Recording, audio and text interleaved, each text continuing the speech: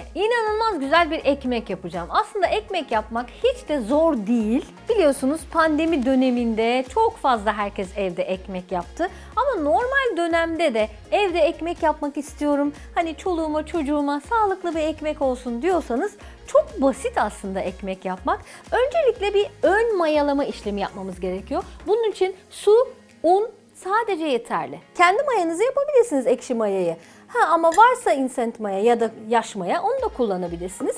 Şimdi ben size ön mayalama işlemini göstermek istiyorum. Şimdi aşağı yukarı e, şöyle bir su bardağı kadar un koydunuz. Sonrasında tahta kaşıkla içine bir miktar şöyle suyu koyuyorsunuz. Karıştırıyorsunuz, karıştırıyorsunuz. Bunu aşağı yukarı bir gece bekletin. Ekşi mayanın ham maddesi işte bu oluyor. Sonrasında bunu besleye besleye yani beslemek nedir? İçine tekrar un ve tekrar su koyuyorsunuz. Un oranı biraz daha fazla, su oranı daha az oluyor. Bakın şöyle hafif bir aktif hale geldi. E, bekletmeyeceğim ben de kuru maya var diyorsanız şöyle kuru mayayı içine ekliyorum. Ve kuru mayanın fermente olabilmesi için, aktif hale gelebilmesi için şeker, tuz değil şeker koyun. Çünkü tuz mayayı öldürüyor. Tuzu onun için en son koyuyoruz. Karıştırıyorum, karıştırıyorum, karıştırıyorum.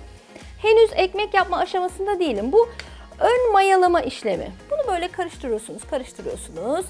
Sonra içine tekrar bir miktar un ekliyorsunuz, bırakıyorsunuz. Bu böyle köpürüyor, köpürüyor, köpürüyor, köpürüyor.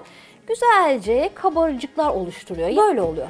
Bu dört gündür benim mayaladığım, beslediğim, içinde henüz tuz olmayan bir maya. Bakar mısınız kabarcıklarına? Bakın. Şimdi bunu hafifçe şöyle vuruyorum. Eğer sönüyorsa birazcık aç ve beslenmeye ihtiyaç var demektir. Ama sönmüyorsa içine un veya su eklemenize gerek yok. Şimdi onunla ekmek yapacağım. Size bir püf noktası. Bundan şöyle temiz bir kaba 2 kaşık kadar bu mayadan ayırın. Tekrar beslemek için. Evet böyle temiz bir kavanoza koyduktan sonra bu şekilde buzdolabında uzun yıllar bekletebilirsiniz. Şimdi diğer kalan mayayı ne yapacağım? Yani şunu içine su ve tuz ekleyeceğim ve un ekleyeceğim. Hamuru yoğurmaya başlayacağım. Bir miktar şöyle su ve şimdi tuzu ekliyorum.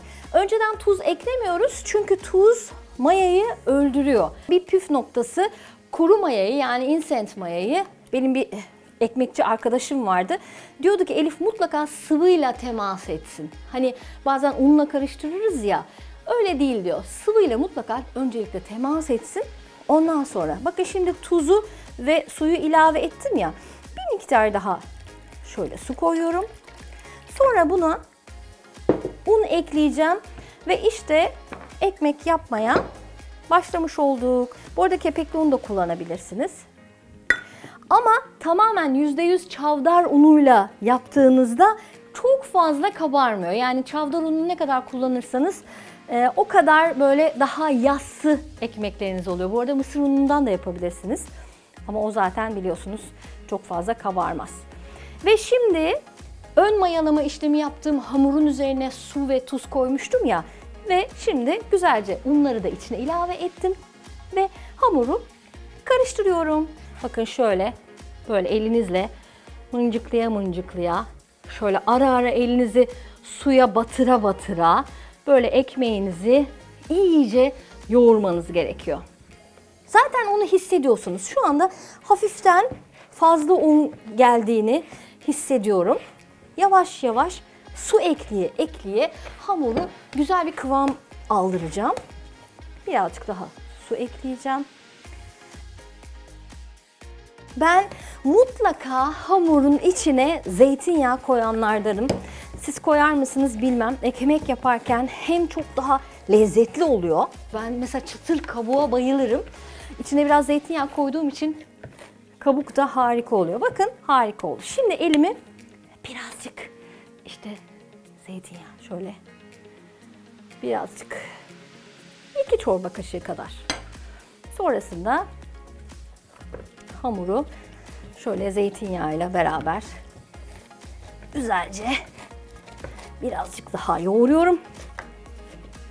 Ve şöyle sonrasında hamuru azıcık yağlanmış kabın içine bırakıyorum. İşte bu kadar.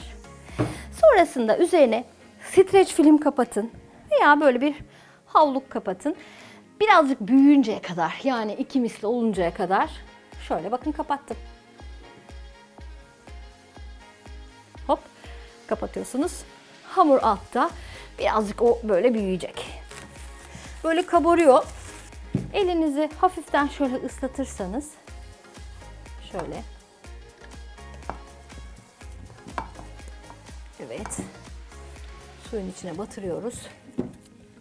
Ve şöyle. Katlama işlemi aslında bu bakın. Hamuru alıyorsunuz. Aşağıya doğru şöyle bakın. Eliniz alta doğru. Alttan şöyle şu işlemi yapıyorsunuz hamura bakın. Hafiften suya batırıyorsunuz. Ve şöyle. Bakın. Sonra bunu bu şekilde tekrar bir 20 dakika bekletiyorlar. Sonra tekrar tekrar tekrar tekrar aşağı yukarı 4-5 kere bu katlama işlemi yapıyorlar. Neden? Çünkü ekmeğin içindeki o gözenekler daha fazla olsun diye. Yani o gözenekleri de hemen göstereyim. Ekmeğin gözenekleri daha şöyle gözenekli olsun diye. Ama o gözenekler olmasını istemiyorsanız çok da fazla katlama işlemi yapmanıza gerek yok. Bakın nasıl esnek bir ekmek hamuru. Şimdi bunu ben dinlendirdim. Aşağı yukarı 2 saattir dinleniyor. Bunu artık ekmek şekline getirebilirim. Bunu yapmak için hemen ne yapmam lazım? Böyle bir fırın tepsisinde ekmek yapabilirsiniz. Onun altına bazen irmik ya da mısır unu koyabiliyorum ben böyle ya da un serpiyorum. Ya da böyle fırına koymadan önce mayalanması için bunun içine de koyup yuvarlak yapabilirsiniz. Hangisini tercih ediyorsanız o size bağlı. Şöyle unu alıyoruz tezgahın üzerine koyuyoruz. Bu yapmış olduğumuz hamuru da şöyle bakın hamuru görüyorsunuz. Hemen unlu zemine koyuyorum. Ve burada şöyle hamuru birazcık daha toparlıyorum. Bu aşamada isterseniz içine ceviz koyabilirsiniz. Cevizli ekmeğe bayılırım. Eğer siz de seviyorsanız içine ceviz koyun, çörek otu koyun. Hangisini koymak istiyorsanız hiç fark etmez. Hatta ben biraz ceviz koyayım. Vallahi güzel olacak şöyle bir miktar cevizi şöyle koyalım. Cevizli ekmek için iri iri doğranmış cevizleri şöyle koyuyorum. Şart değil. Mesela zeytin ezmesi de koyanlar var. Hani kekik veya baharat veya kuru domates koyanlar var. Tercih sizin. Hangisini istiyorsanız sade yapacağım diyorsanız sade de olabilir. Şöyle hamuru tekrar cevizle beraber güzelce bir sefer daha şöyle yoğuruyorum. Bakın elinizin e, şöyle çekiyorsunuz. Sonra kendiliğinden alta doğru kıvrılıyor bakın. Gördünüz mü? Şöyle kendiliğine alta doğru kıvrılıyor. Sonra üstü de şekil oluyor. İşte bu şekilde yuvarlak yapacaksanız şöyle sepetin içine koyun. Bu şekilde. Sepette mayalansın. Ama sepetin içine koyarken mutlaka şöyle tersinden koymanız lazım. Yani hamuru katladığınız kısım terse gelmesi lazım ki Sonra mesela atıyorum döküm bir tencerede pişireceksiniz veya farklı bir kalıbın içinde pişireceksiniz. O kalıba böyle hemen hop ters çevirmeniz gerekiyor. Sonrasında da üzerine hemen çizikler atmanız gerekiyor. Şimdi ben ne yapacağım? Baget ekmek yapmak istiyorum. Onun için şöyle bakın içten şöyle dıştan içe doğru hop hop hop hop aldım. Ve sonrasında iki tane yapalım mı? Hadi iki tane yapalım. Şöyle kesiyorum. Bakın ne kadar güzel oldu. Sonra tekrar böyle içe içe katlıyorsunuz. Aşağı yukarı şöyle bir 5 dakika daha dinlendirin. Çünkü hamurla oynuyoruz. Oynayınca hamur biraz sersemliyor. Onun için mutlaka böyle birazcık hamuru 5 dakika daha dinlendirin ki hamur böyle daha gevşesin. Onun için bekleme işlemi oluyor. Hamuru alıyoruz. Şu katladığımız kısım alta geliyor. Bakın şöyle açıyoruz, açıyoruz, açıyoruz ve katlama sistemi var burada. Katlama sistemi de önemli. Şöyle hemen göstereyim. Şöyle katlıyorsunuz, parmağınızla itiyorsunuz, katlıyorsunuz, itiyorsunuz. Katlıyorsunuz, itiyorsunuz. Şöyle hop katlandı, itildi, katlandı, itildi. Burada önemli olan katlanmış kısım aşağıya gelmesi lazım tepsiye koyduğunuzda. Yani şu kısım var ya, şu katladığınız kısım mutlaka iyice kapanması lazım. Bu şekilde yukarıda tutmayın. Çünkü o zaman ekmeğiniz yayılır. Onun için katladığınız kısım şöyle tepsiye koyduğunuzda alta gelmesi lazım. Hop şöyle koyuyoruz. Şöyle de bütün parmaklarınızı da kullanabilirsiniz. Hiç fark etmez. Yeter ki katlama işlemini yapın. Sonrasında kenarlar birazcık daha ekmeğin hani böyle bagetlerin burası daha incedir ya. Onun için de şöyle yapıyorum. Hop ve sonra tekrar hop koydum.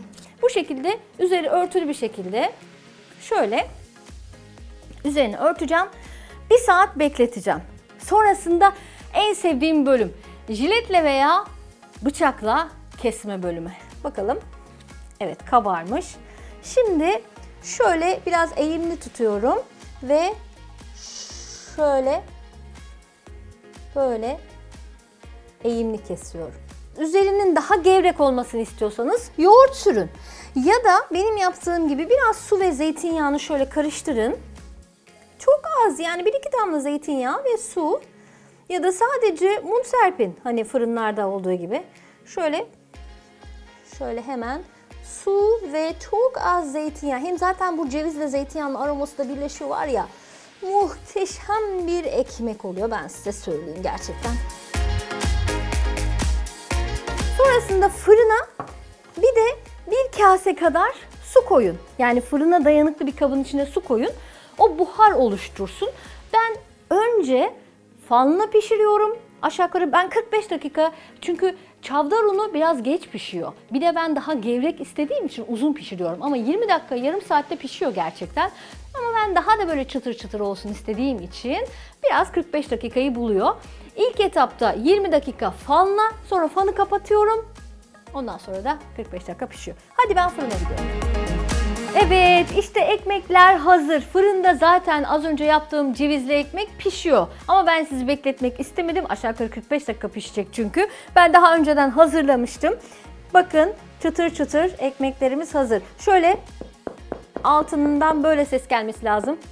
Bakın gayet güzel bir şekilde çıtır çıtır ekmekler. Biz böyle seviyoruz. Daha yumuşak istiyorsanız o zaman da 25-30 dakika kadar pişirin. Gerçekten de çok güzel oluyor. İyice böyle kızartın sonra üzerine tereyağı sürün. Kahvaltıda yiyin, çorbanıza koyun.